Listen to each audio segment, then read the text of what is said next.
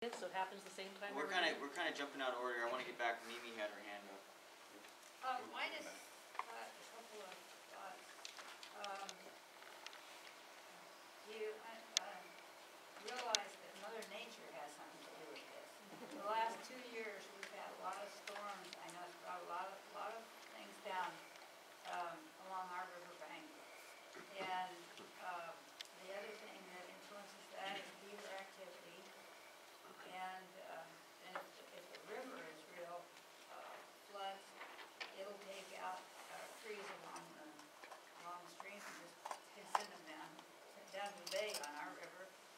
So, I was wondering if you might want to, uh, send the landowners, uh, form every year to write down what kind of damage they have seen along the river, to realize that they weren't necessarily doing. it. On the other hand, there might be some that are actually thinning or something so that the trees are healthier. I know one lady out in the Alsea area planted it, and you have to plant them close together, then you have to thin them out.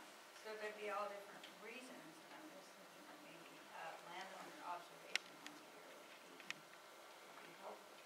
No, it's a good point, and also, we, we need to do that kind of follow-up because there's gonna be natural, program because it's, it sounds good and you guys are, are committed to it, but you don't always, I mean, I've been involved with this for forty years, so people come and go. We get people and they come out from, I shouldn't mention places, but New York and California, someplace like that, they have no clue about anything here. They've got their own ideas and they don't understand what's been done ahead of them. So that if it's all in writing, it would make us landowners feel a lot better. We will be documenting the program, hopefully to an excellent degree of specificity we're aiming for. So you can read it over and tell us if we've made that. Good question. Is the imagery done at the same time every year? So that it's always done in the spring or in the summer or at some point in time? Yeah, not necessarily, no. So we have So- different, different, different uh, time intervals between the imagery and so. That would certainly be an issue in Oregon. In terms of what you can see, what Uh, occurs. Green in the winter, the summer, the fall, they're all very different. Right, right. We, uh, we strive for, um, what we call leaf-off photography, so winter time, so that we can see the ground surface better, but, um, we don't always get that. So, yeah, we have to make allowances for, for what's available, what we can afford to acquire. Um, sometimes it can be pretty expensive to, uh, buy it at the time.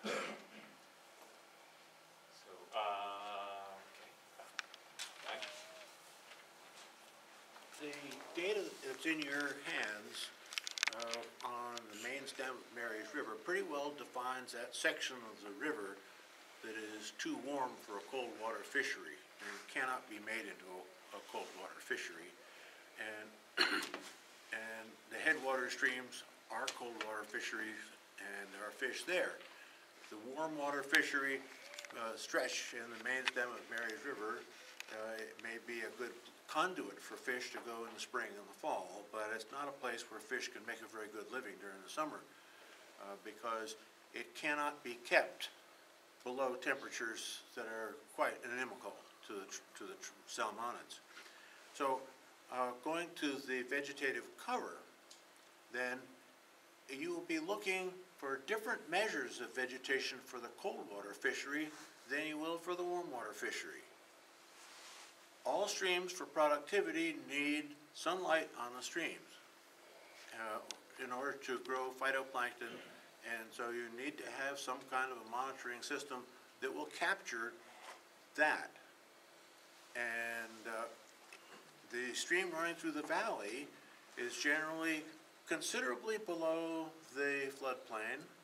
And uh, so the root systems for the stream side trees may not reach the erosion boundary of the stream except during flood. And so sampling vegetation is not a simple matter, and I, I recommend strongly that you develop some really good protocols for where you sample. Measure the south bank differently from the north bank, because the north bank will never shade the stream. And include these critical parameters so that when the D, DEQ comes to your picnic, you have something you can really wow them with, and they will learn something they, which they now do not recognize. Thanks, Mike. Katie, you wanna- Um, so you're gonna measure twenty stream miles, about a third, half a third every five years. How is that gonna be chosen? Is that gonna be contiguous twenty mile section on the map, or is it going to be random? Um, At this, at this point, And who pays for it?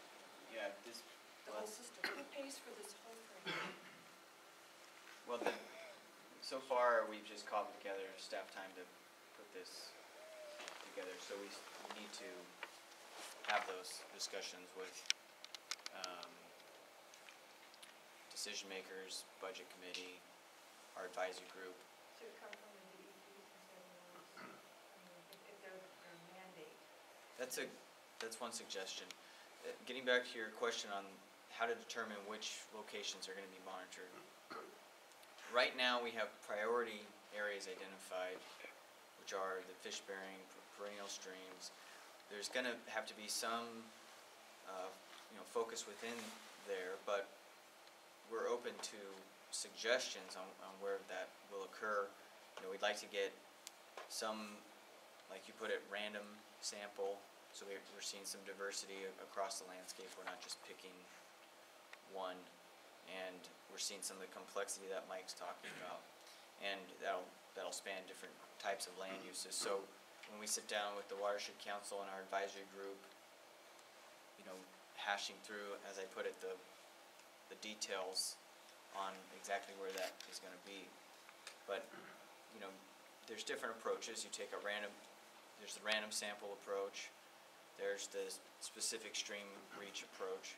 I'm leaning towards more of the random sample where you have the diversity of different land uses and, and stream types and so on and so forth. I would think maybe you've got an agenda, because you've only put the problem areas that you generally work on them. I mean, I could see you need to monitor them, but if you only kept monitoring problem areas and the DEQ only sees problem areas, and it's Right. gonna skew it towards, oh, we're gonna have to regulate because you guys can't control anything, of showing, um, random sample. Right.